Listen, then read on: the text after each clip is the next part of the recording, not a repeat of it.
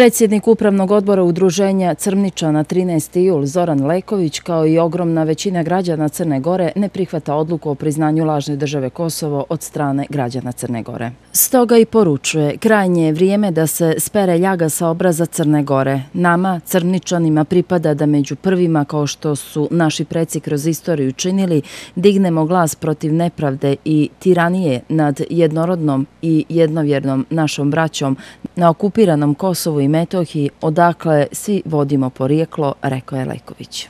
Onako kako Ukrajina podržava teritorijalni integritet Srbije, tako i Srbija podržava teritorijalni integritet Ukrajine, poručuje predsjednik Srbije Aleksandar Vučić nakon sastanka sa ukrajinskim kolegom Petrom Porošenkom. Ukrajina i Srbija nemaju probleme u bilateralnim odnosima, poručuje Porošenko.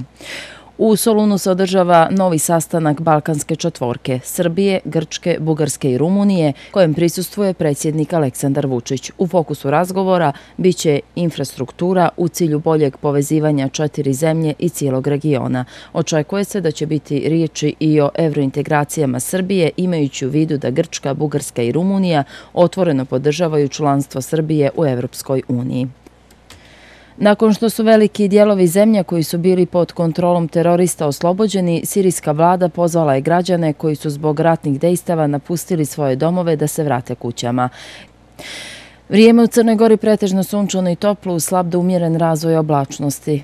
U popodnevnim satima lokalno uz pojačan razvoj oblačnosti i kratkotreno kiša ili pljusak i grmljavina prvenstveno u sjevernim predjelima i planinskom zaleđu Boke.